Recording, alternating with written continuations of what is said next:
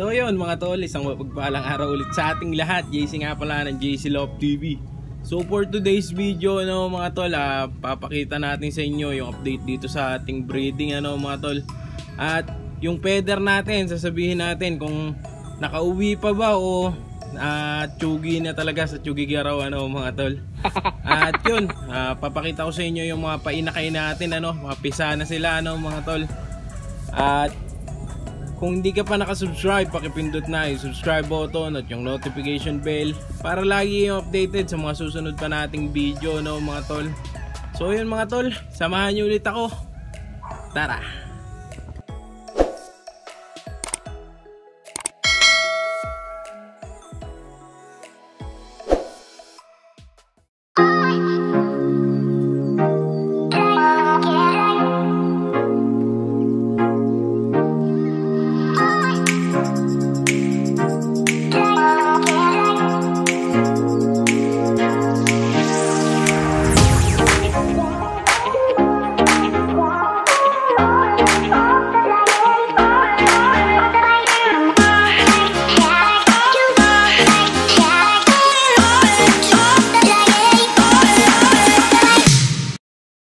So yun mga tol, dito tayo sa ating flyer slope no mga tol. Ayan. Ito yung blue bar nakapares ng feather natin ano mga tol. Sayang lang at hindi nag-clock yung feather natin mga tol. Pero ito pa siya no mga tol. Ayan, nakauwi na siya no mga tol.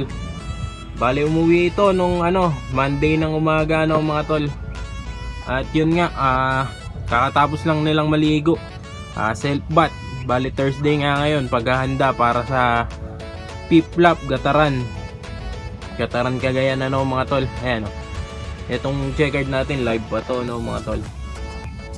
Ayan o. Sana kayanin niya pa hanggang sa susunod. At yung feather natin, sana ay mag-clock siya sa gataran. Ikakarga pa rin natin yan ano mga tol. Kahit na butas na siya. Uh, pagka mag napansin ko maganda kondisyon niya, sasali ko siya sa 3 laps. Pero ayan, ito okay naman sila. Sa ngayon okay naman. Uh, nakapaligo na sila. Bali dalawang beses silang naliligo. Nung Monday tsaka ito ngayon Thursday. Uh, self bath lang mga tol para hindi sila ano uh, hindi sila ma-stress. Puro self bath lang ginagawa natin. Uh, ginagawa lang natin. Uh, ini-sprayan natin sila para mapilitan silang maligo. At gustong gusto kasi nila yon para silang naglalaro sa tubig parang umuulan parang ganun na no, mga tol. At yun uh, salamat at nakauwi pa rin at hindi siya natsugi. Sa tsugi garaw ano mga tol ayan o pakagandang ibon. Uh, yung feather natin na to uh, port overall siya sa ano sector A ng sprint race. Sayang lang nagbutas. Uh, mabilis-bilis yung ibon natin na to. Multiple pulling winner side bet winner na rin yung ibon natin na to at silang dalawa ay tag team winner na rin.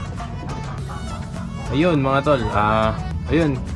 Bali tinanggal na natin yung itlog nila para maghabol ulit yung feather.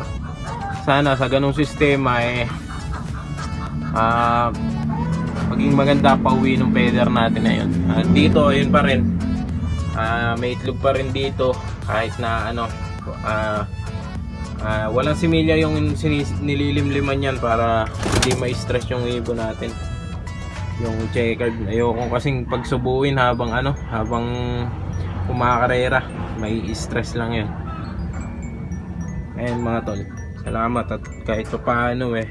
May dalawa pa tayong pangkarga sa Gataran Cagayan. Sila ulit dalawa. Sana parehas mag clock na yung dalawang ibon natin na to no, mga tol. Para naman makabawi tayo sa sa nakaraang race. Ah uh, yun. Sayang yung feather natin na to nagbutas. Pero okay lang yun. Uh, karga pa rin. Uh, laban lang ng laban.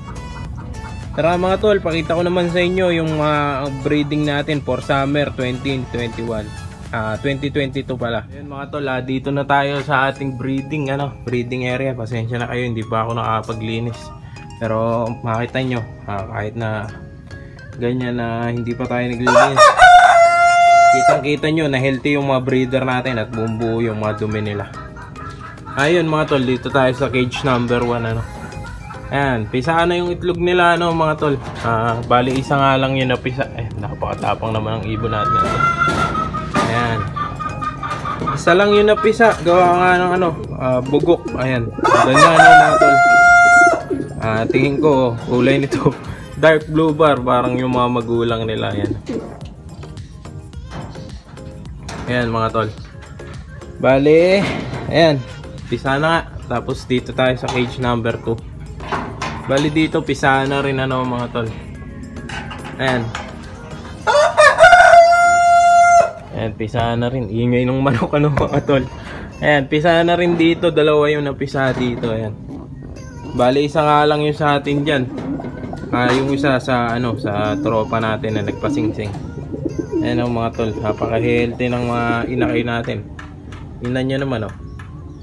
Di man lang labas yung pusod kasi pag labas pusod, matik out. Ayan oh, malinis na malinis ano mga tol.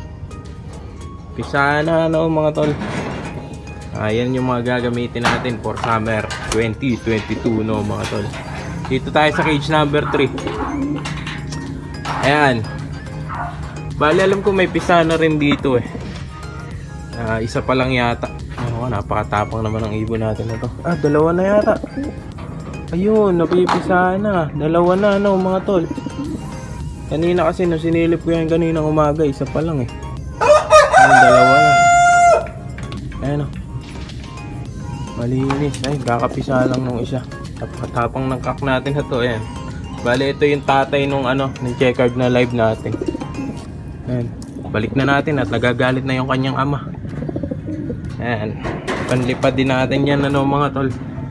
For summer 2022. Ayan. Napakatapang na ibon. Dito sa cage number 3. Ayan. Wala silang itlog. Bali nung, first, nung unang clutch nga ng dalawang ibon na to ay walang similya. Ah, sablay dahil nga ano pa to basa lang tong hen. Ah, pangalawang clutch, ah, isa lang yung may similya. Kaya tinanggal natin. Yung isang similya, nilipat ko dito dahil yung itlog ng dalawa na to, eh, nung first clutch nila, wala ring similya. Ngayon, eh, isa lang mong may similya. Kaya ayan, pinagsab, pinag, ano ko na lang, yung, yung itlog nito, nilipat ko na lang dito para dalawa yung limlima ng dalaw ng ibon natin na to. Bale, tigisa sila diyan ng ano, ng itlog daw mga tol. Ah, yun lang. Ah, dito ah, may itlog na inbreed. Ah, sana magsimilya yung ibon natin na to. Inbreed yan mga tol.